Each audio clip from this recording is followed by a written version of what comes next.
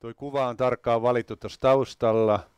Se viittaa nimenomaan siihen, siihen elämän lähteeseen, joka on meidän sydämessämme. Niin kuin tiedetään, Islannissa on geissirejä, ne lähtee maan alta tulemaan, se, se, se vesi purkautuu esiin. Aivan samalla lailla meissä on myöskin tämä elämän lähde. Mun mielestä Geisir, Geisir kuvaa kaikkein parhaiten sitä, sitä elämän lähdettä. Ja tämä on siinäkin mielessä merkittävä asia, koska monet ajattelee aina, että kun Jumala haluaa täyttää meitä pyhällä hengellä, niin se tulee taivaasta. Kyllä se tuleekin, mutta se on se voima, se tulikaste. Mutta tämä elämän lähde on meissä. Ja tämän jos ihmiset oivaltaisi oikeasti, niin, niin, niin se on aina mahdollisuus avata, aina mahdollista avata. Kaikissa tilanteissa on mahdollista avata. Mutta mulle tuli tämä ajatus, että kuinka, mä voin, kuinka me voimme elää uskon kautta, uskon kautta tapahtuvaa elämää ja, ja onko se niin, että Jumala elää meissä meidän kautta vai elämmekö me Herran kanssa vai miten se tapahtuu. Siitä on aika paljon erilaisia käsityksiä, niin kuin tuutte kohta huomaamaan, kun mennään, mennään eteenpäin. Jos me ajatellaan, että me olemme Jumalan rakennus, niin kumpi rakentaa, sinä vai Herra? Me katsotaan ensimmäistä korintolaiskirjaa luku 3, 9, 11 ja 12, sillä me olemme Jumalan työtovereita. Te olette Jumalan viljelysmaa, olette Jumalan rakennus. Sillä muuta perustusta ei kukaan voi panna kuin mikä pantu on, ja se on Jeesus Kristus. Eli uudesti syntymässä meihin pannaan tämä perustus, me uudesti synnytään, Jumalan pyhähenki tulee meihin asumaan. Se on se perusta, usko Jeesuksen on se perusta.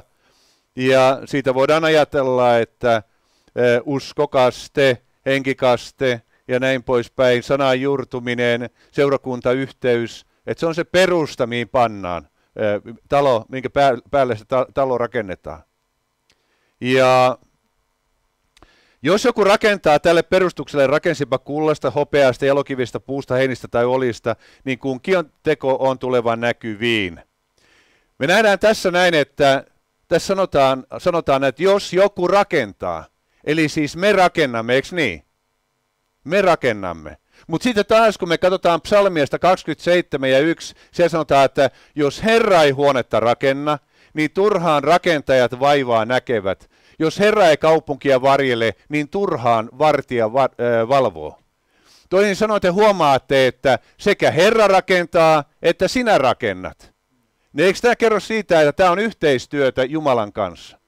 Mutta mä oon huomannut, kun mä oon kuuntellut joitakin saarnoja aikaisemmin, niin on paljon sellaisia henkilöitä, jotka sanoo, että ei me mitään voida tehdä, että Jumala se on, joka rakentaa. Mutta tämä ei ole täysin totta. Raamatun mukaan me olemme Jumalan työtovereita. Ja jos me emme osallistu siihen hengelliseen kasvuun ja, ja siihen meidän hengellisen rakennuksemme rakentamiseen, niin ei Jumala tule ja pakottaa ja ei Jumala tule ja sanoo, että nyt tehdään ja, ja, ja minä vie ja, ja, ja, ja sun, sun tehtävässä on siinä vaan, vaan itkeä ja valittaa. Ei, kyllä se täytyy, täytyy olla, olla niin, että me olemme Jumalan työtovereita. Me suostumme siihen muutokseen, me suostumme, että meitä rakennetaan, me suostumme siihen, että meitä pyhitetään, että me kasvamme uskossa, että meidän luonteemme muuttuu, että meidän arvomaailmamme muuttuu. Kyllä meidän täytyy suostua siihen, olla Jumalan työtovereita. Ja tämä on, tämä on tosi tärkeä pointti. Tämä, voi tuntua tässä yksinkertaiselta, mutta jos lähtisit haastattelemaan ihmisiä, niin hyvin paljon on sitä ajatusmaailmaa, että jos, jos, jos Jumala ei tee, niin minä en voi tehdä mitään. Eli otetaan yksinkertainen esimerkki. Joku on riippuvainen esimerkiksi tupakasta. Ja joku voi sanoa, että jos Jumala ei tule ja ota, ota multa tätä himoa pois, niin minä en voi sille mitään. Mä jatkan niin kauan, kunnes Jumala tulee ja nappaa sätkän suusta pois. Tämmöistä opetusta on, tämmöistä ajatusmaailmaa on. Te ymmärrätte, että ei se voi olla näin. Että Jumala haluaa, että me näemme, että meilläkin oma vastuumme tässä uskoelämässä. Että meidän tulee kasvaa niin, että meistä tulee Jumalan työtovereita. Eikö vaan? Ja, ja Mennään vielä vähän pidemmälle tässä asiassa ja psalmi 119 on mahtava. Teidän kannattaa oikein lukea sitä ajatuksella. Siinä on tosi paljon, sehän on aakkospsalmi. Siinä on, sehän on aina jaettu 22 osiin, että siitä tulee hebreankieliset aakkoset, ja se ei vaan näy tässä suomenkielisessä raamatussa, se on hebreankielisessä. Mutta siinä tulee hyvin usein, kun katsot minä, minä, minä. Siinä toistetaan koko aika yhä uudelleen uudelleen minä, minä, minä. Eli ihmisen osuus tulee siellä koko aika näkyviin ja esiin, mutta siellä tulee myöskin Herran osuus. Mä luen teille nämä psalmista 19 jakeet 28-34. Minun sieluni itkee murheesta, vahvista minua sanasi jälkeen tai sanasi mukaan. Eli nyt pyydetään, että Herra, tee sinä jotain, vahvista minua, vahvista minua Herra. Ja sitten edelleen pyydetään Herralta, käännä minusta pois valheen tie ja anna armostasi minulle lakisi. Taas pyydetään, että Jumala tee, Jumala tee. Mutta huomatkaa nyt sitten, nyt tämä jatkuu näin. Minä olen valinnut totuuden tien.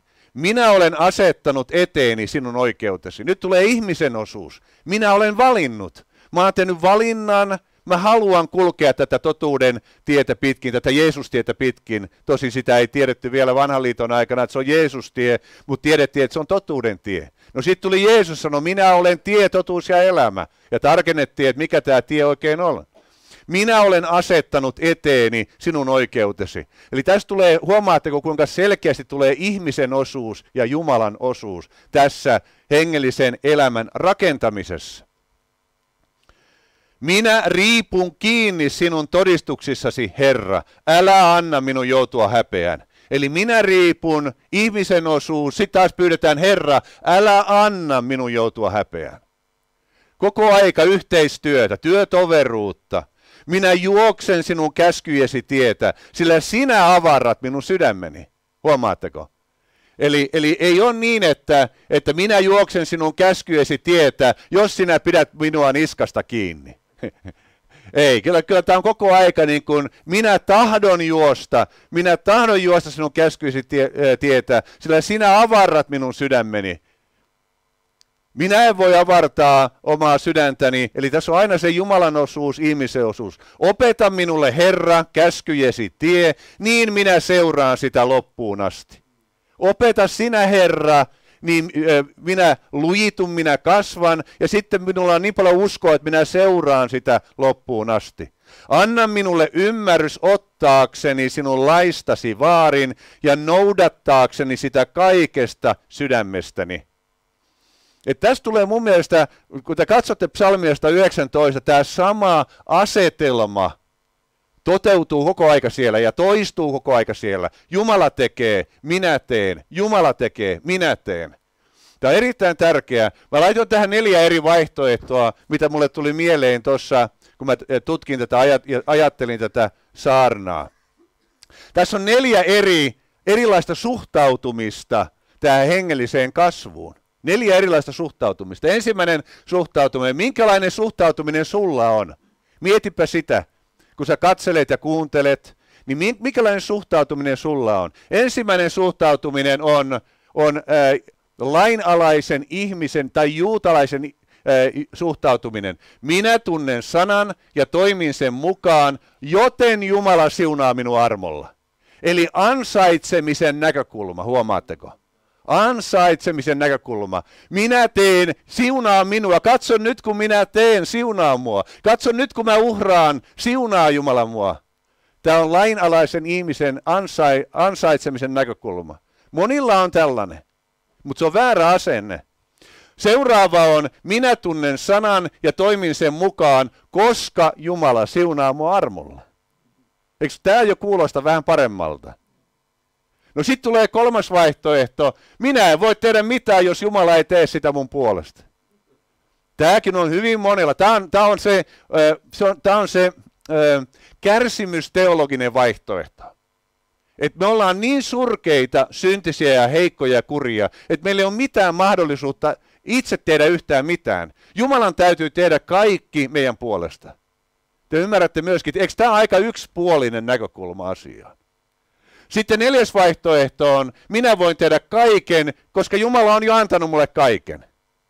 No tämä on taas menestysteologinen näkökulma. Meillä on jo kaikki. Meidän tulee vaan tiedostaa se, että meillä on jo kaikki, ja sitten me teemme kaiken, ja Herra vaan siunaa meitä, eikö niin? Mutta tämäkin on yksipuolinen näkökulma. Tässäkään ei ole sitä Jumalan työtoveruutta tasapainossa mielessä. Sen takia on hyvä miettiä, että kumpi toimii, minä vai Herra. Eiköhän se ole työtoveruus koko aika. Työtoveruus. Lähestykää Jumalaa, Jumala lähestyy teitä. Eikö vaan? Työtoveruutta, yhteyttä Jumalan kanssa. Okei. Okay. Nyt sitten on erittäin tärkeää myöskin oivaltaa tämä. Tässä tehdään käytännössä hirveän paljon virheitä. Mikä vaikuttaa meidän elämässämme? Oma vai Jumalan vaikuttama usko? Onko se omaa uskoa vai Jumalan uskoa? Me nähdään apostolien teoissa luvussa kolme. Täällä on tilanne.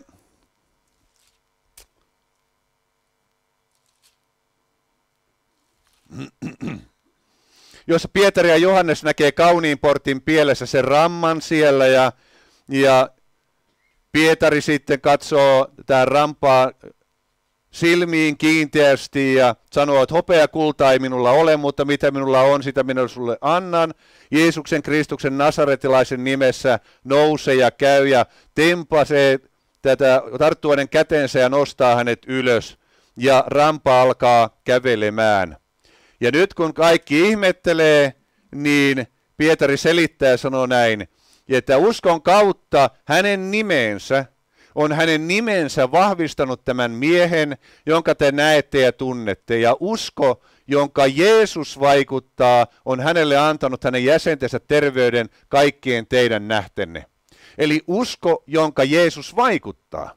Eli nyt mennään siihen, että juuri tähän lähteeseen, joka te näette tuossa, josta puhutaan kohta vielä vähän tarkemmin, niin tämä Jeesus asuu meissä, eikö niin?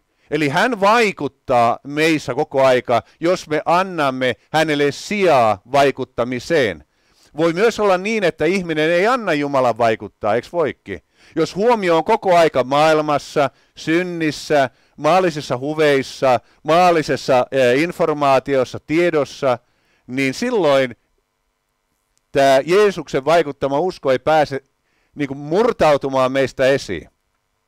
Roomalaiskirja 10.17 sanoo, että usko tulee siis kuulemisesta, mutta kuuleminen Kristuksen sanan kautta. Ja se sana on reema, se tarkoittaa puhuttua sanaa. Se tarkoittaa siis sellaista sanaa, että kun sinä luet raamattua, niin sä saat siitä yhtäkkiä uuden näkökulman, aivan uudenlaisen oivalluksen. Ja se on pyhän hengen antama oivallus sinulle, se on parantava oivallus, se on uskoa synnyttävä oivallus, se on sun uskoas eteenpäin viivä oivallus. Ja tämä on se eh, puhuttu reemasana. Ja, eli voidaan sanoa näinkin, että usko tulee kuulemisesta. Kun sä luet Jumalan sanaa, niin sä saat siitä niin sanotun yleisen uskon. Siis sellaisen uskon, että sä tiedät, että mitä ylipäänsä Jumala voi tehdä ja mitä hän on tehnyt, eikö niin? Mutta sitten sä voit saada vielä myöskin hengen kautta erityisen ilmoituksen siitä, että kun sä luet esimerkiksi sanaa tai saat rukouksessa, että pyhähenki sanoo sulle, minä parannan sinut. Se on reemasana sinulle, ja sä sait hetkinen, Jumala sanoi, että hän parantaa mut, ja silloin se on erityinen ilmoitus sinulle. Ja sä saat henkilökohtaisen uskon siitä, että nyt minä paranen. Tämä on aika mielenkiintoinen juttu. Mä luin aikoinaan, joku teistä voi muistaa tämän tarinan paremmin. Tämä tapahtui jossain, jossain kolmansissa maissa, oli raamattukoulun oppilaita, jotka olivat lukeneet raamatusta, että Jeesus käveli vetten päällä. No he ajattelivat, että hekin pystyvät siihen, koska raamattu sanoi, että Jeesus käveli ja Pietari käveli. Mutta he unohtivat yhden asian. Pietari sai reema-sanan Jeesukselta, joo, tule tänne. Ja niiden sanojen mukana tuli voima hänelle kävellä vetten päälle. No nämä oppilaat lähti kävelemään ja tarinan mukaan he hukku. Niin me ymmärretään se, että me emme voi omalla ymmärryksellämme ottaa uskoa tästä kirjasta ja soveltaa sitä omaan elämäämme ja ajatella, että kyllä se nyt vaan toimii. Se ei toimi, jos ei Jumalan henki ohjaa meitä siinä. jos me ei saada sitä erityistä ilmoitusta, tilannekohtaista ilmoitusta, niin silloin se ei, sitä ei voida suoraan soveltaa. Tämä on erittäin tärkeää, koska henki ja sana, ne toimii yhdessä koko aika ja niiden täytyy toimia yhdessä. Sillä Jumala on se, joka teissä vaikuttaa sekä tahtomisen että tekemisen, että hänen hyvä tahtonsa tapahtuisi. Eli miten me voimme niin kuin varmistaa sen, että Jumala vaikuttaa meissä koko aika tahtomisen ja tekemisen? Mä luen juuri yhtä, yhden korealaisen pastorin, pastorin seurakunnasta kertovaa kirjaa. Se on, se on iso kirjasarja. Ja, ja se, mikä mua niin hämmästyttää siinä, on se, että millaisia rukouskokouksia pitää. Koko yön. Ne rukoilee koko yön. Tunti kaupalla ne rukoilee. Pastori saarnaa neljä tuntia. ei toimi varmaan oikein Suomessa ja, ja suoraan se ei toimikaan, mutta siellä, siellä vaikuttaa pyhän tuli. Eli, eli siis Jumala vaikuttaa sen, mitä he tekee. E, eli jos me lähdettäisiin rukoilemaan koko yö ja Jumala ei vaikuttaisi sitä, niin se oli sitten omassa voimassa ja koko porukka nukkuisi puoli, puoli, puoli yöstä. Mutta kun Jumalan tuli vaikuttaa ja hän vaikuttaa sekä tahtomiseen että tekemiseen, niin silloin jaksaa tehdä sitä, mitä Jumala haluaa tehdä meidän tekevän, koska hän antaa siihen armon. Eli tämä on koko aika yhteistyötä ja on tärkeää, että me opitaan kuuntelemaan Jumalan ääni.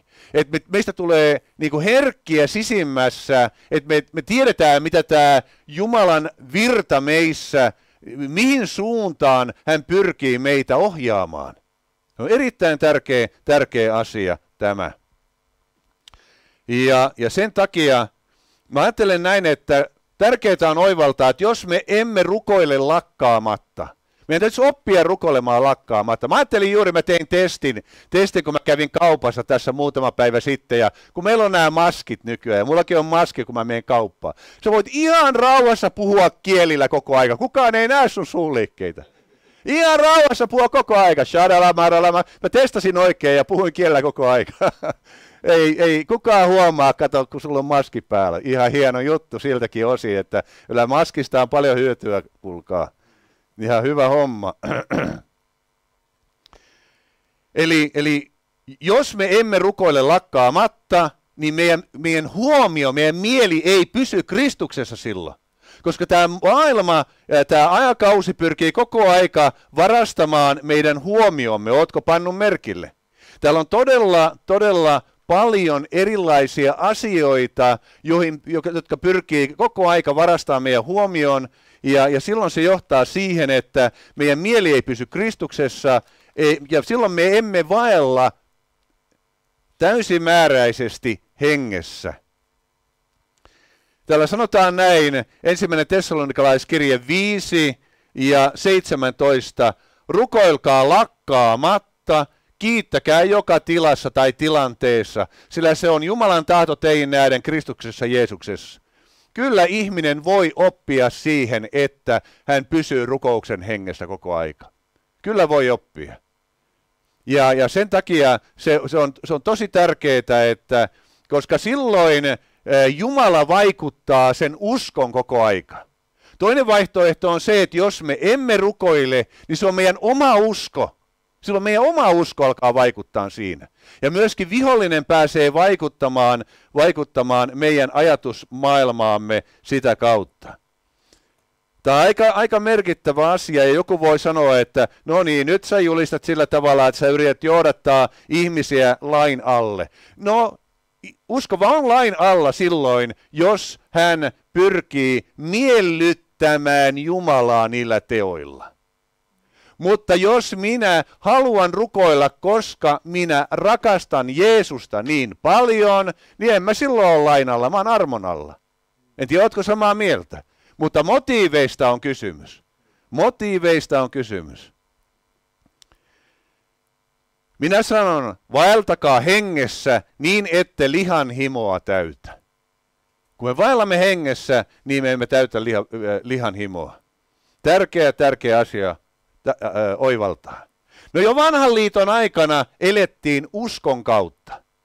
Eli uskon kautta ei voi elää, ellei ole uudesti syntynyt. Ihmisen täytyy ensin uudesti syntyä, jotta hän voisi elää uskon kautta.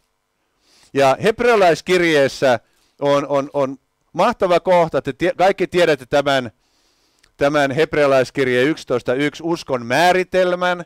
Usko on luja luottamus siihen, mitä toivotaan, ojentautuminen sen mukaan, mikä ei näy. Mutta tämä sana luja luottamus on erittäin merkittävä sana. Se on hypostaasis kreikan kielellä. Se tarkoittaa uskoon luja perusta, varmuus, todellinen olemus tai olemassaolo, rohkeus tai mielenlaatu. Se tarkoittaa noin monta eri asiaa. Ja se laajentaa tätä jakeen merkitystä ihan mahtavalla tavalla. Eli ojentautuminen sen mukaan, mikä ei näy, tai todistus siitä, mikä ei näy. Kun Jumala on antanut sun sydämeesi uskon, että minä esimerkiksi, jos minä en kuole koskaan koronaa. No sä voit nähdä, että hirveän paljon ihmisiä sairastuu sun ympärilläsi, mutta se usko, minkä Jeesus vaikuttaa sun sydämessäsi koko aika, on todistus kuitenkin sinulle, että sinä olet turvassa. Se on suurempi todistus kuin se, mitä sinä näet omin silmin. Se, mitä sinä näet sydämen silmin, eikö niin? Eli me emme katso näkyväisiä, vaan me katsomme näkymättömiä. Toinen korintolaiskirja 4.18 sanoo tämän. Eli tämä uskon luku hebrealaiskirjassa luvussa 11, niin nämä muinaiset pyhät saivat Jumalalta ilmoituksen, henkilökohtaisen ilmoituksen, ja he toimivat sen mukaan. Noa sai ilmoituksen uskon kautta. Jumala puhui, rakenna arkki, tuhoon tulossa.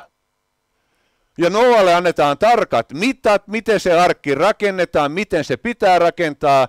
Ja, ja Noa alkaa rakentamaan. Ja hän ei näe yhtään, kun hän katsoo ulkopuolelle, ei ole mitään merkkejä edes siitä, että tulva olisi tulossa. Mutta hänen sydämensä huutaa koko aika, tuhoon tulossa, rakenna arkki.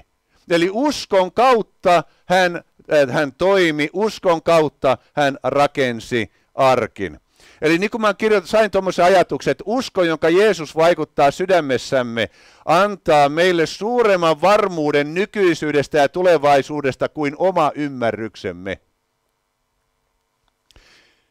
Eli tätä, tätä äh, Jumala pyrkii vaikuttamaan. Eli se usko on todellinen olemus. Se on, se on tarkempi totuus kuin se, mitä sä näet. Se on, se on ää, suurempi varmuus kuin se, mihin sä voit käsin koskea, on usko, jonka Jumala vaikuttaa. Nimittäin tämä maailma voi tuhoutua sodassa ja kaikki se, mitä me rakastetaan, voi hajota meidän ympärillä, mutta edelleen usko on täällä olemassa. Sen takia usko on suurempi varmuus kuin se, mihin me turvaudutaan. On paljon äh, ihmisiä esimerkiksi Amerikassa, ne on jo vuosia vuosia varautunut kolmanteen maailmansotaan, ne on varautunut katastrofi, joka on tulossa, ne on tehnyt pommisuoja itselleen, ne on varastoinut ruokia vuosiksi itselleen, ne on aseistautunut siellä, mutta silti ystävät, ei ne selviä ilman Jeesusta. Ei ne selviä ilman Jeesusta. Vaikka kuinka varastoi itselleen ruokaa, niin, niin siitä huolimatta usko antaa suuremman varmuuden kuin mitä, miten ihminen pystyy varautumaan. Ja, ja sen takia tämä on niin äärettömän tärkeä asia, koska uskon kautta me ymmärrämme erilaisia asioita. Uskon kautta me ymmärrämme Jumalan sanaa. Uskon kautta me luotetaan siihen, että Jumala puhuu meille. Uskon kautta me eletään tätä elämää siinä mielessä, että me, me pääsemme ikuiseen kotiin, uuteen Jerusalemiin. Uskon kautta. Usko on se perusta, se on se sisäinen varmuus, sisäinen todistus. Koko aika sinun sydämessäsi on sisäinen todistus. Henki varmistaa, todistaa koko aika, että sä oot Jumalan oma ja, ja sä, sä pääset ikuiseen elämään. Ja, ja sen takia roomalaiskirja 10.10 10 sanoo näin. Sydämen uskolla tullaan vanhurskaaksi ja suun tunnustuksella pelastutaan. Eli sillä hetkellä, kun sä oot saanut, tullut uskoon, uudesti syntynyt, saanut pyhängen sydämeesi, niin sä oot uskon kautta tullut vanhurskaaksi. Mutta siitä huolimatta me tarvitaan, ystävät, suun tunnustusta. Koska kun me julistamme tätä totuutta, niin se lisää sitä varmuutta, uskon varmuutta koko aika. Eli meidät on oikeasti, ystävät, kutsuttu olemaan julistajia. Ja meidän on hyvä julistaa sairauden keskellä, että mä selviän tästä Jeesuksen nimessä. Mä selviän, mikään masennus ei paina mua alas, vaan Jeesus nostaa, mä ylistän Jeesusta. Jos me näin tehdään, niin suun tunnustuksella edelleen pelastutaan. No erittäin tärkeä olla ylistäjä ja julistaja ja suun tunnustaja, koska eh, niin kuin Johannes 3 ja 6 sanoo, että me olemme oikeasti, joka hengestä on syntynyt on henki, ja joka lihasta on syntynyt on liha. Kun me synnyttiin tähän maailmaan, niin me synnyttiin lihaksi. Me olimme kaikki tavallisia ihmisiä, joita Raamattu kutsuu nimellä liha. Ihminen on liha. Oletko samaa mieltä? Ensimmäinen Mooseksen kirja 6.5 sanoo näin.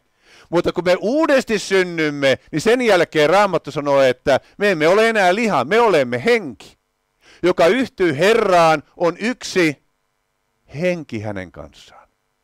Me ole enää liha. Jumala katsoo meitä, me, hän näkee, että me olemme henki. Ja sen takia henki elää uskosta Jumalan sanaan.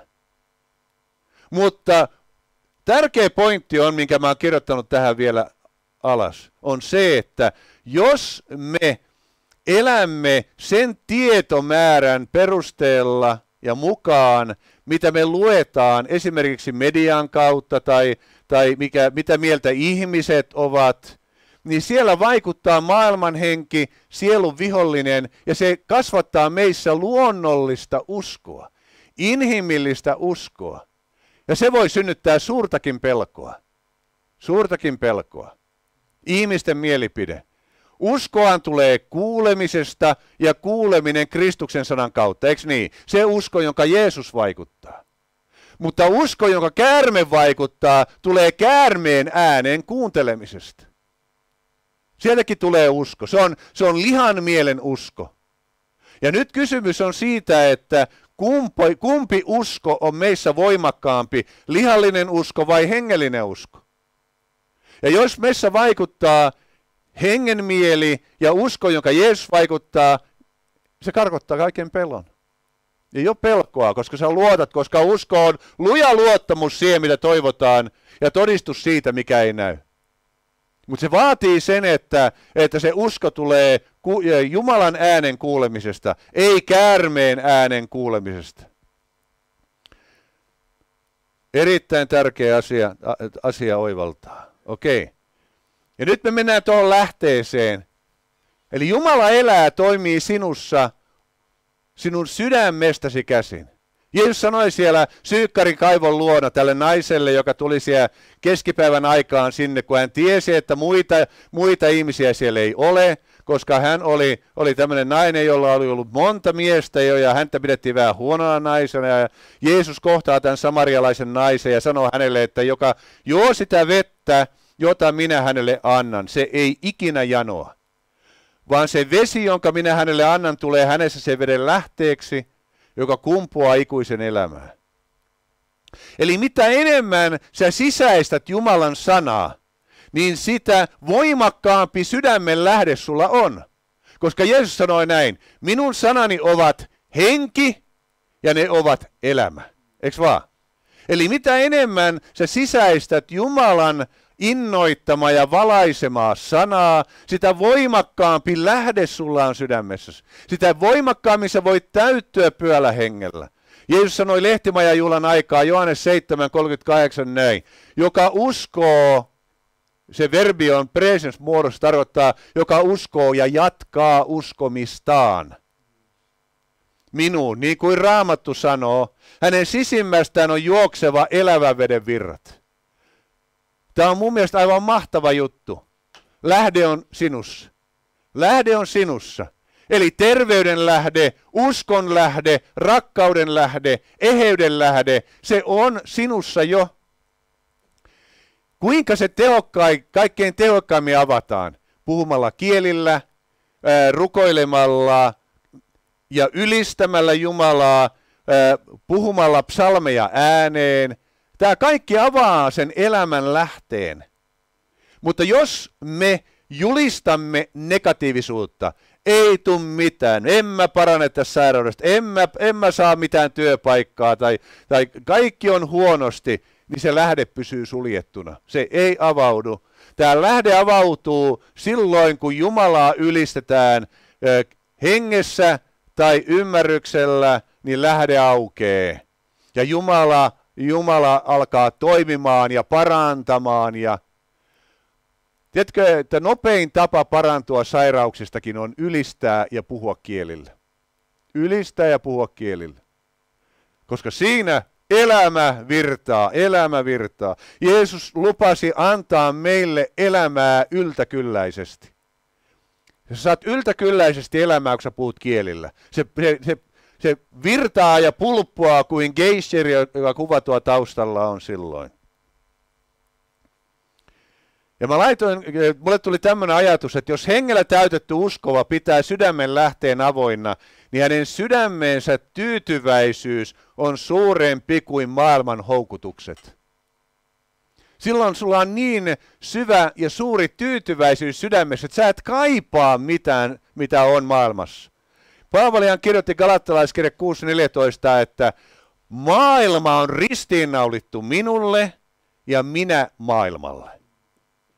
Ja, ja hänen ei enää tarvinnut taistella sen asian kanssa. Hänellä ei ollut enää sisäistä ristiriitaa tämän asian suhteen, koska hän oli kuollut maailmalle. Hän oli kuollut maailmalle. Niin kuin Galattalaiskirja 2.20 hän kirjoitti, ja minä elän, en enää minä, vaan Kristus elää minussa. Ja minkä minä elän vielä lihassa, sen minä elän Jumalan pojan uskossa. Eli kun sulla on avattu sydämen lähde, niin tämä lähde ohjaa sua. Vaikuttaa sussa tahtomista ja tekemistä koko aika. Tämän takia Raamattu kehottaa meitä uudelleen ja uudelleen, että rukoilkaa lakkaamatta. Pysykää koko aika rukouksen hengessä.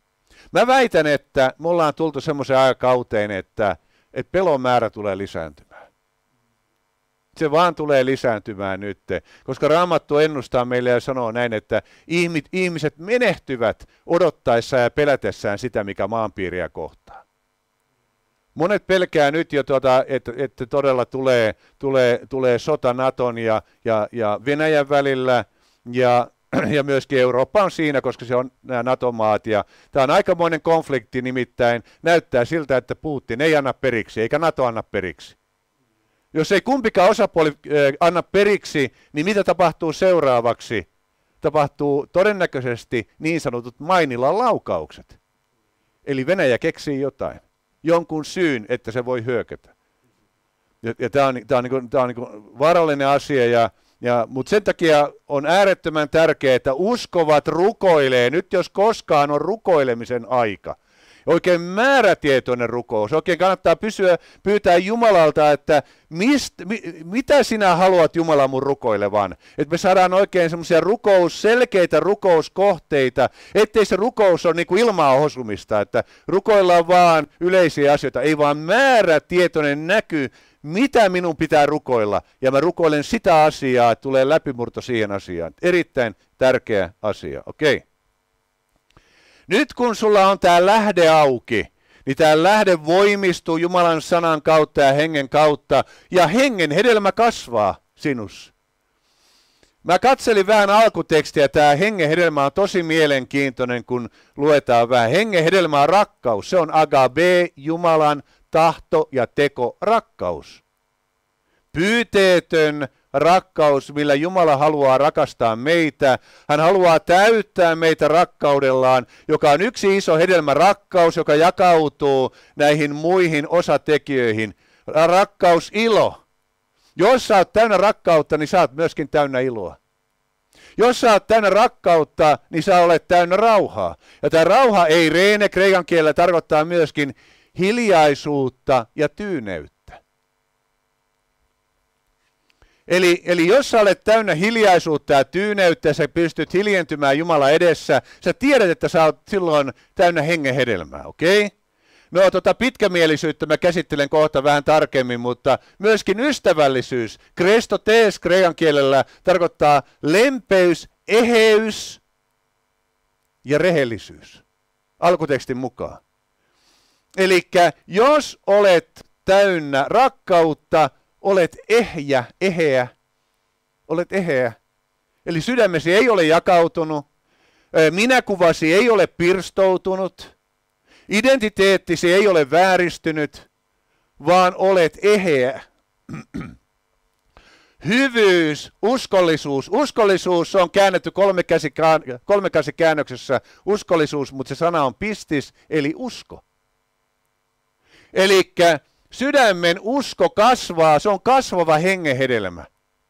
Uskoaan tulee kuulemisesta ja kuuleminen Kristuksen sanan kautta. Ja kun usko kasvaa, niin rakkaus kasvaa sinussa. Kun usko kasvaa, niin ilo ja rauha kasvaa sinussa. Ja kärsivällisyys ja ystävällisyys kasvaa sinussa. Hyvyys, usko, sävyisyys. Sävyisyys on toinen sana, mikä on käännetty kuningas ja käännöksessä eri tavalla. Siellä on käännetty nöyryys. Ja tämä on hyvin merkittävä, nimittäin sävyisyys, sekin on hyvä sana, sävyisä.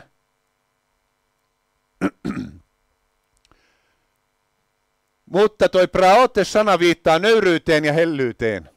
Nöyryys ja hellyys. Ja sitten vielä itsensä hillitseminen, eli ekrateia, se on johdettu juuri sanasta ekrates, joka tarkoittaa voimakasta, lujaa ja sellaista henkilöä, jolla on voima itsensä hillitsemiseen ja hallitsemiseen. Ja tämäkin kasvaa uskon kautta.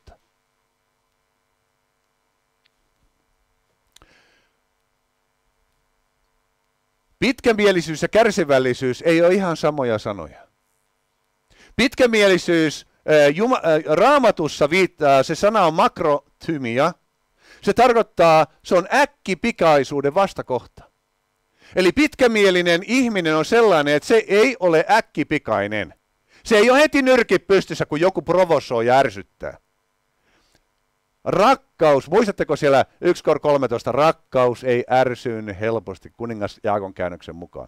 Rakkaus ei ärsyyn helposti, koska rakkaus on pitkämielinen, se on äkkipikaisuuden vastakohta. Eli rakkaus on kärsivällinen ja kestävä silloin, kun joku ärsyttää ja provosoi. Ja se viittaa myöskin Jumalan kärsivällisyyteen syntiä kohtaan. Eli Jumala on hidas vihaan. Raamatussa sanotaan monessa kohtaa, Jumala on hidas vihaan, koska Jumala on pitkämielinen. Mutta sitten on vielä tämä kärsivällisyys, hypomone. Se tarkoittaa kykyä sisua ja voimaa kestää vaikeuksia. Ja kykyä, mielenlujuutta ja rohkeutta ja kestävyyttä odottaa kärsivällisesti silloin, kun Jumala on pistänyt odottamaan. Te huomaatte, että ne ei ole ihan samoja sanoja nämä, tämä pitkämielisyys ja kärsivällisyys. Ne on kolme kasi käännöksessä käännetty pitkämielisyys ja kärsivällisyys, mutta tämä on niiden todellinen merkitys. Tämä on mun mielestä hyvä, hyvä juttu, nimittäin meille tulee paljon tilanteita, missä joku voi ärsyttää meitä, joku voi puhua meille pahasti, mutta sä et ole äkkipikainen siinä. Tämä on etenkin, jos ihminen on ekstrovertti, koleerinen tai, koleerinen tai sangviininen, joka reagoi tosi nopeasti. Koleerinen reagoi vihalla, sangviini äh, reagoi taas sitten suuta soittamalla ja, ja ja, ja sen takia hengen hedelmä, kun kasvaa tällaisilla ihmisillä, niin Jumala haluaa tehdä heistä pitkämielisiä, ettei ole niin äkkipikaisia. Introvertti ihminen taas, äh, flekmaatikko tai melankolikko, voi mennä tuommoisessa tilanteessa, joku provosoi, niin voi mennä ihan hiljaiseksi. Ei puhu mitään siinä, mutta voi taas sitten kirota mielessään – Ihminen reagoi luonteensa puolesta ja, ruo- ja luonteensa puolesta ihan eri tavalla näissä tilanteissa. Okei. Okay. Nyt tulee tärkeä ajatus vielä. Nyt me ollaan tähän asti puhuttu sydämen uskosta, siitä lähteestä, joka on sinussa. Mutta nyt me siirrytään Jumalan uskoon, siihen voimaan, joka tulee taivaasta. Tämä on, tämä on vielä paljon enempää, tämä on kaksinkertainen osa. Markuksen evankeliumissa on kohta, jossa Jeesus kirosi viikunapuun, koska hän meni etsimään sieltä hedelmiä, ensihedelmiä. Hän ei löytänyt ensihedelmiä, hän kirosi sen, siellä sanotaan, koska ei ollut vielä viikunoiden aika, mutta oli ensihedelmien aika. Hän olisi halunnut löytää ensihedelmiä, ja tämä viittaa, tämä vertaus Israeliin, hän etsi ensi hedelmiä kansan keskeltä ja hän löysi tietyn määrä, hän löysi apostolit, hän löysi tietyn määrä ihmisiä, jotka lähti seuraamaan häntä, mutta suurin osa kielsivät hänet. Ja sitten kun he varhain aamulla kulkivat sen viikunapuun ohi, näkivät he viikunapuun kuivettuneen juuria myöten. Silloin Pietari muisti Jeesuksen sanat ja sanoi hänelle, Rabbi, katso, viikunapuu, jonka sinä kirosit, on kuivettunut. Tämäkin mä pysähdyn tähän. Ajatelkaa, Jeesus sanoi vaan viikunapuulle, älköön sinusta enää ikinä hedelmiä tulko. Kuinka usein ihminen voi sanoa tällaiset sanat toiselle, isä lapselleen, susta ei tule koskaan mitään. Ajatelkaa, se on kirous. Se on vakava, voimakas kirous. Ja se vaikuttaa monien elämässä koko elämän ajan, ellei sitä käsitellä. Se täytyy käsitellä, muuten se voi vaikuttaa. Eli kirous voi olla tuommoiset sanat, susta ei tule koskaan yhtään mitään. Okei. Okay. Katso viikunapuu, jonka sinä kirosit on kuivattu. Nyt tulee tärkeät sanat. Jeesus vastasi ja sanoi heille, pitäkää usko Jumalaan. Kolme käännös sanoo, pitäkää usko Jumalaan.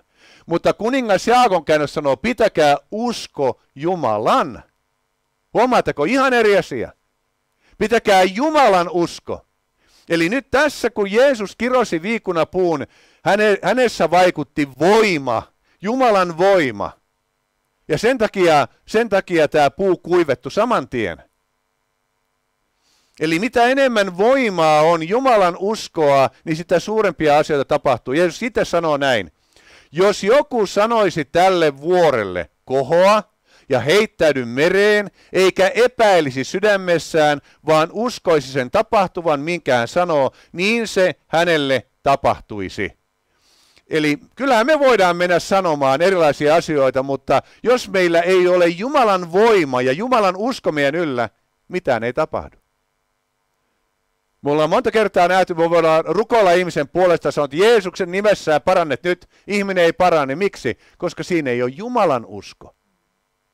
Tämä on erittäin tärkeä asia. Jumalan usko on yliluonnollinen Jumalan vaikutus ihmisen yllä – Eli se laskeutuu taivaasta voiman vaikutuksena ihmisen ylle. Ja se on paljon suurempi kuin minun uskoni Kristuksessa. On Jumalan usko minun ylläni. Onko tämä ymmärrettävää?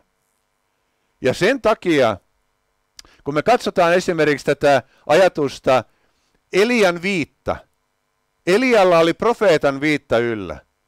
Ja ihmeitä tapahtui, kun hän, hän äh, julisti ja rukoili. Elisa tavoitteli Elian viittaa. Niin kauan kuin Elisa palveli Eliaan, niin hän tavoitteli koko aikaa, että kun Elia jossain vaiheessa siirtää ton viitan minun ylleni. Ja kun Elia ot, oltiin ottamassa ylös, niin hän sanoo Elisalle, pyydä minulta jotain, että jos mä voisin jotain tehdä sun hyväksesi, niin, niin, niin Elisa pyytää Elian hengestä kaksinkertaista osaa. Ja nyt kun Elia lähtee, niin hänen viittansa jää sinne ja Elisa laittaa sen ylleen ja voimavaikutus alkaa vaikuttamaan hänen elämässään. Siis Jumalan usko alkaa vaikuttamaan hänen yllään. Ja tämä oli tärkeä, tärkeä asia, asia oivaltaa. Nimittäin, mitä enemmän sinun sydämen uskosi kasvaa, mitä enemmän sä näet ihmeitä elämässäsi, niin sitä useammin Jumalan usko voi laskeutua sun yllesi. Mitä, mitä suurempi usko, mitä suurempi tämä lähde virtaa sinusta, niin sitä useammin voi Jumalan ö, tulikaste ja voimavaikutus laskeutua sun yllesi, kun sä oot seurakunnassa, kun sä oot jossain muualla. Koska sulla on itsellä jo sellainen usko, että Jumalan usko, Jumala haluaa palvella minun kautta, Jumala haluaa tulla ja toimia mun kautta.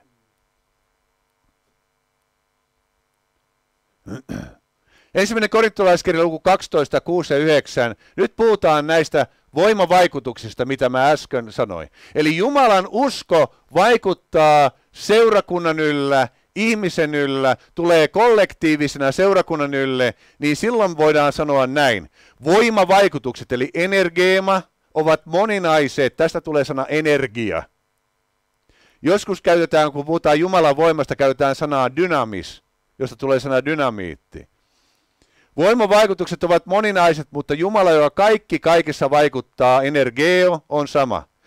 Huomatkaa nytten, mutta kullekin annetaan hengen ilmoitus yhteiseksi hyödyksi.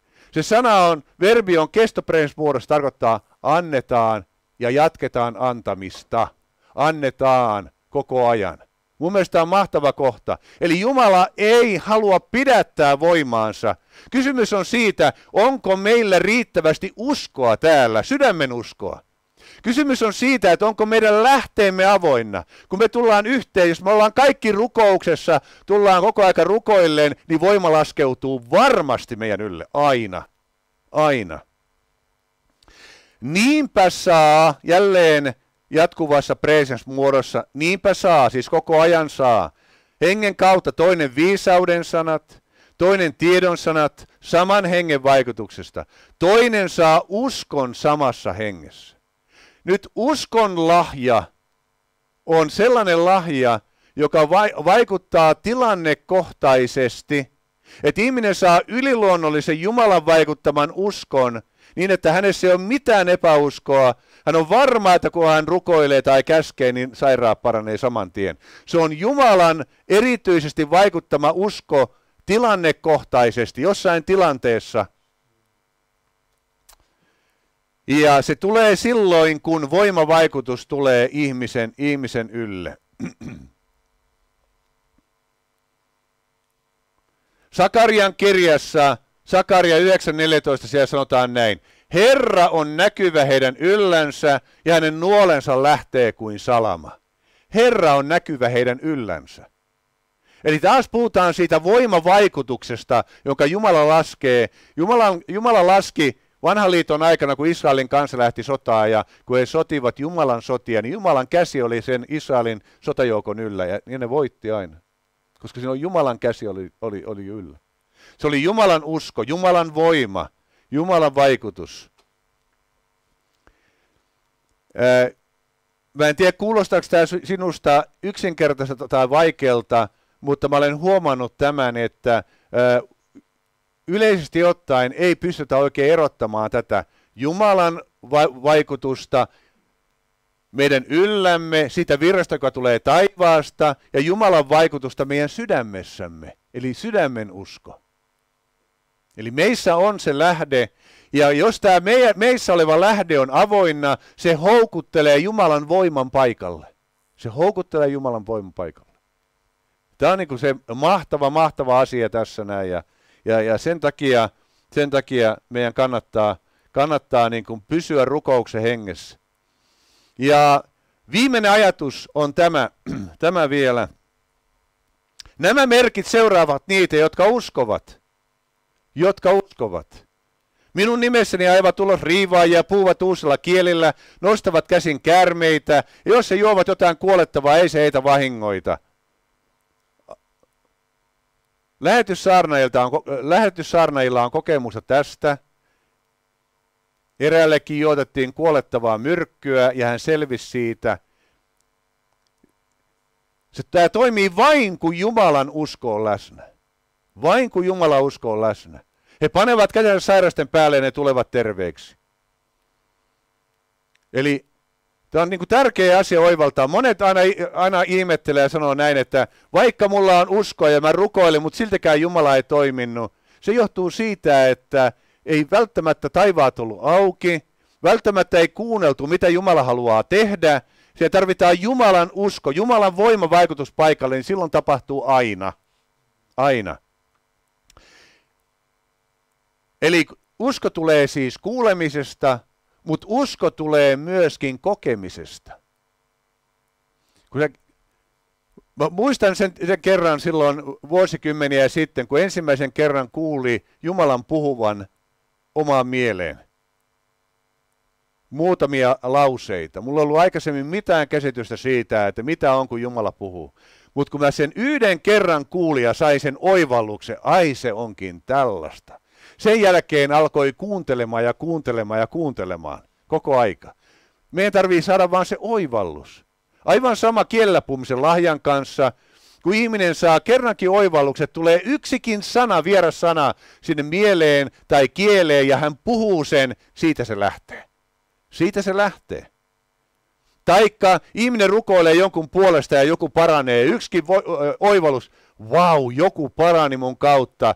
Ja siitä tulee heti aivan uudenlainen usko. Sä alat rukoilemaan ja, ja sulla on enemmän uskoa kuin ennen sitä tapahtumaa. Koska usko tulee myös kokemisesta.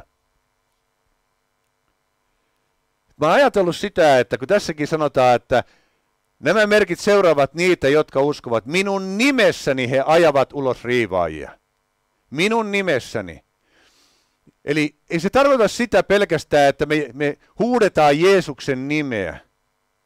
Kyllä me huudetaan Jeesuksen, Jeesuksen nimeä ja toimitaan Jeesuksen nimessä ja, ja Jeesuksen veren voimassa. Siitä ei ole kysymys.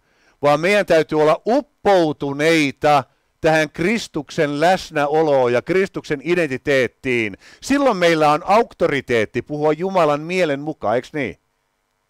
Jos me vaellamme lihassa ja käytetään Jeesuksen nimeä, mitään ei tapahdu. Jos voimavaikutus ei ole meidän yllämme, mitään ei tapahdu. Vaan vain silloin, kun Jumalan voima vaikuttaa uskovan yllä, niin silloin kun hän julistaa Jeesuksen nimeä, silloin tapahtuu asioita. Amen.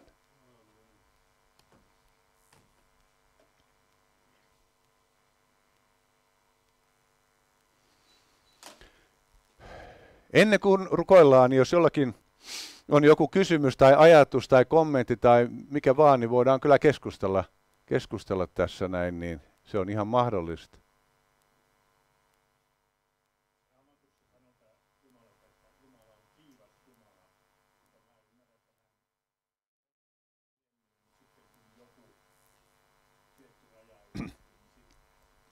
Juuri näin. Se on juuri näin. Esimerkiksi Herran päivä, kun alkaa tämä tuomiotalouskausi, viimeinen seitsemän vuotta, niin silloin, silloin Jumala ei ole enää kärsivällinen. Se Jumalan, Jumalan kärsivällisyyden aika on ohi. Puhutaan armotalouskaudesta, missä me ollaan oltu 2000 vuotta, niin Jumala on osoittanut pitkämielisyyttään tänä, tänä aikana nimenomaan. Kyllä, Jumala on ollut, ollut kyllä aika pitkämielinen 2000 vuotta, eikö vaan? Joo. Kyllä, Jumala on, Jumala on pitkämielinen ja, ja tänä aikakautena, tänä armotalouskautena, niin rangaistukset on tullut syyn ja seurauksellaan kautta. Eli mitä ihminen on kylvänyt, sitä hän on saanut niittää. Mutta Jumala ei ole siihen ää, niin kuin aktiivisesti tuonut. Niin kuin vanhan liiton aikana Jumala saattoi aktiivisesti lähettää oman enkelinsä ää, surmaamaan jonkun. Mutta tänä armotalouskautena hän ei ole tehnyt sitä. Hän ei ole tehnyt sitä, vaan mitä ihminen on kylvänyt, sitä hän on niittänyt. Ja joku on saattanut elää koko elämänsä synnissä. Ja näyttää siltä, että mitään onnettomuuksia, mitään ongelmia ei ole ollut sillä ihmisellä. Mutta kun se menee rajan taakse, sitten tulee, sitten hän niittää sen, mitä hän on kylvännyt. Joo.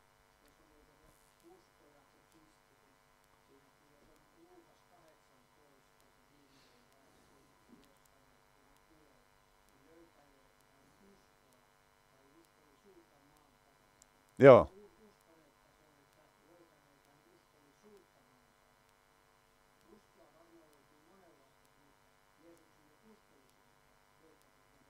Kyllä.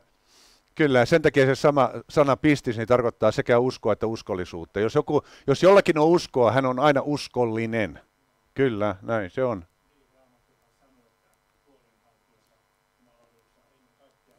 Joo, nimenomaan.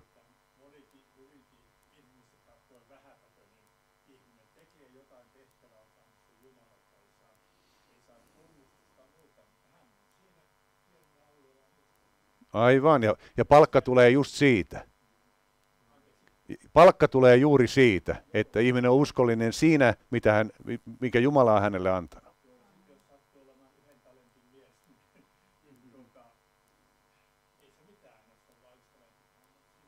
Nimenomaan, nimenomaan. Jumala tuntee meidän luonteemme niin tarkkaan, että hän ei anna meille semmoisia talenttimääriä, jotka tuhois meidät. Joo.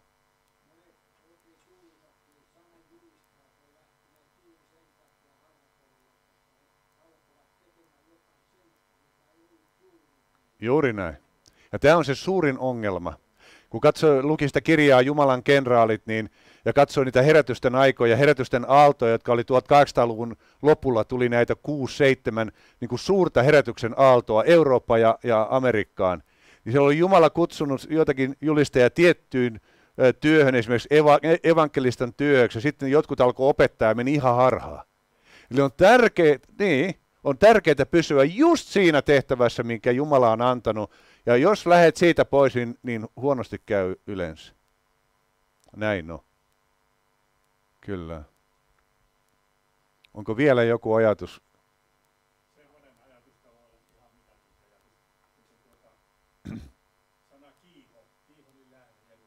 Joo. Kyllä, nimenomaan esiin pulppuava. Juuri näin.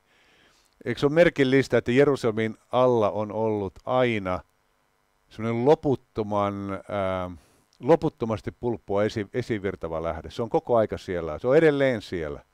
Ja, ja, ja siellä muistaakseni tapahtui, mä en muista sitä vuosilukua, mutta siellä oli maanjäristys. Sitä ennen se vesi oli puhdasta ja juotavaa, mutta sen jälkeen se muuttuu juomakelvottomaksi. Tällä hetkellä se on juomakelvotonta, Kiihonin lähtevyys. Mutta siellä on niin kuin se, se eikö se ole merkillistä?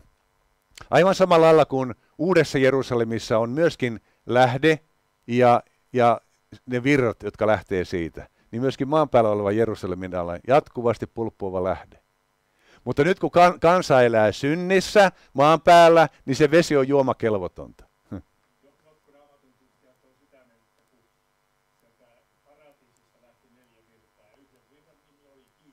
Kyllä.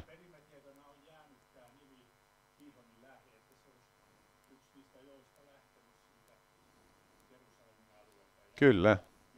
Joo. Kyllä. Hesekielin kirjassa kuvataan Israelia ja sanotaan, että se on maan napa. Maan napa. Ja aikaisemmin, ennen, ennen kuin siellä, siellä tota, nämä mantereet erkani toisistaan, niin nämä kaikki mantereet oli yhdessä ja ne muodosti ö, kukan. Se oli niin kuin kukan muoto. Amerikka, Etelä-Amerikka, Afrikka ja sitten tota Venäjän mantereet. Ne muodosti kukan ja Israel oli maan napa. Pelekin aikana, siellä sanotaan, Pelekin aikana jakautui maan asukkaat, mutta oikeasti ää, alku, alkuperäisen käännöksen mukaan jakautui maa jakautui maa. Mantereet alkoi erkaantua toisistaan. Jumala erotti mantereet toisistaan, koska synti erotti ihmiset toisistaan. Mutta nyt mä esitän teille kysymyksen. Voisiko olla niin, että tuotvuotisen valtakunnan aikana niin mantereet tulee taas yhteen? niin, eikö se, ole, eikö se ole mahtava ajatus? Ja, ja muualla on sitten merta, mutta se veri voi olla, että se ei ole enää suolainen. Että se, se voi olla ihan, niin, koska alun perin meret ei ole ollut suolosia, vaan sieltä on sitten aina, joku on väittänyt, että suolot on liuennut jokien mukaan taas maasta ja sitten on tehnyt meret suoloseksi. Onko vielä jollakin joku, joku ajatus? Jos ei ole, niin noustaan ylös vielä ja rukoillaan tässä näin. Ja rukoillaan sitä, että, että tämä lähde saa, saa meissä olla auki. Muista, että tämä lähde voi aina olla sinussa auki. Sun ei tarvi elää masennuksessa. Sulla on elämän ylösnousemuksen lähde sun sydämessä. Sun ei tarvi elää masennuksessa. Ja jos et sä jaksa itse rukoilla itseäsi lävitse siihen virtaan, niin aina voit pyytää jotain toista rukoilemaan sun kanssa, että sä pääset siihen virtaan. Kiitos Herra Jeesus siitä, että me saamme ylistää ja palvoa sinua. Me saamme ylistää ja palvoa, että sinä olet se elämän lähde meissä. Sinä olet ylös nousemus ja elämässä, sanoit hallelujaa. Sä olet tietotuus ja elämä. Sä oot, sä, meissä on tämä tie, meissä on tämä elämä, meissä on tämä ylösnousemus, koska sinä asut meissä. Halleluja, Herra auta, että me saamme rukoilla. Että me saamme nytkin nostaa rukouksen pauhun taivaita kohti. Herra, kiitos siitä, että tässäkin hetkessä meidän sydämen lähde avautuu ja se lähde tulee esiin, niin sinun voimasi voi laskeutua meidän yllemme, halleluja. Voi tulla voiman vaikutus tänne meidän keskellemme, Herra. Kiitos, että vaikutat sen uskon juuri nyt, että kaikki, että se elämän lähde meissä, se työntää epäuskon pois. Se työntää sairauden vallat ja voimat pois. Se työntää masennuksen, ahdistuksen, apatian, kaiken sellaisen pois, mikä vaikuttaa negatiivisesti meidän elämässämme. Herra, me palvomme sinua, me ylistämme sinua. Herra, oot kaikki kaikessa, halleluja. Auta Herra, että jokainen katselija, kuuntelija, jokainen paikalla oleva voisi päästä semmoisen rukouksen henkeen, että me saamme vaeltaa hengessä, rukoilla hengessä, perään antamattomasti. Anna jokaiselle, Herra, jokaiselle eh, sellainen näky, sellainen näky, mitä kohti tulee mennä. Halleluja. Koska sana sanoo näin, ilman näkyä kansakunnat tuhoutuvat. Ja Herra, jos sinä annat meille näyn ja me tiedämme, mitä meidän pitää rukoilla, meidän elämällämme on tarkoitus. Tämä tulee jollekin, jollekin henkilö, joka katselee ja kuuntelee. Sä koet, että sun elämällä se on tarkoitusta. Mutta Herra haluaa antaa sulle elämääsi tarkoituksen. Hän haluaa antaa sulle näyn. Hän haluaa antaa sulle eh, jatkuvan rukouksen pau, että kun sä aamusta asti, kun sä heräät, sä tajuat, että mun elämälläni on tarkoitus. Mä saan rukoilla ja etsiä täyttymystä tälle lupaukselle, jonka sä oot mulle antanut. Halleluja. Me ylistämme sinua, Herra. Sä olet meille kaikki kaikessa. Sä oot meidän parantajamme. Herra, kiitos siitä, että me saamme pukeutua koko sota asuun. Halleluja. Ja tulee tällainen profetallinen ajatus ja kuva. Jotenkin Herra sanoo näin, että nyt on aika pukea päälle Jumalan koko sota-asu. Katso, ajat muuttuvat.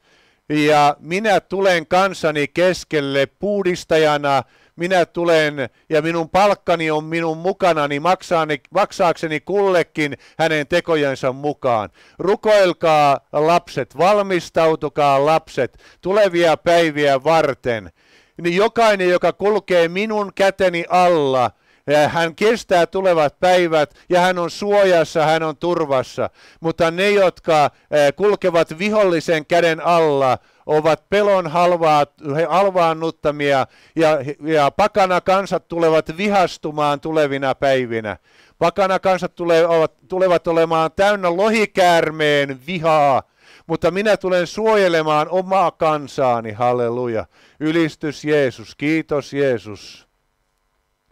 Herra, kiitos siitä, että mä saan siunata jokaista katselijaa, että se sisäinen lähde voisi selkeästi tuoda esiin niitä epäkohtia, syntiä, haavoja, mielenlinnakkeita, tunnelukkoja, kaikkea sitä, mikä rikkoo sisintä. Ystävä, se lähde, kun sinä puhut kielillä, niin se lähde tuo sen rikkinäisyyden esiin käsiteltäväksi. Ja kun sinä sen käsittelet, halleluja, niin sinä pääset vapauteen. Vapauteen Kristus vapautti meidät. Me emme saa antaa eh, sitoa itseämme uudelleen orjuuden ikeeseen. Herra, me palvomme sinua, halleluja, kiitos Jeesus.